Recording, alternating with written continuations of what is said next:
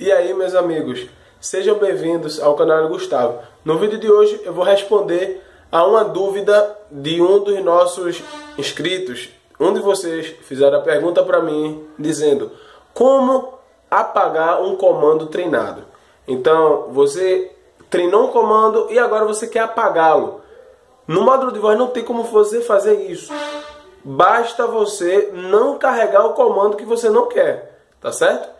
Ou então você grava outro, mas não tem como você apagar o comando que foi reconhecido, a não ser que a gente apague toda a memória do módulo de voz, tá? Mas com o Arduino, daquela forma que a gente conhece, não tem como apagar com aqueles comandos ali, aqueles, aquele help, não tem como apagar o comando treinado, tá? A sugestão que eu lhe dou, que eu lhe dou, é que você não carregue comando que você não quer mais, tá?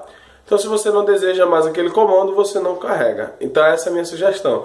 Se você gostou da dica, da resposta, inscreva-se no canal, não deixe de nos acompanhar e até o próximo vídeo.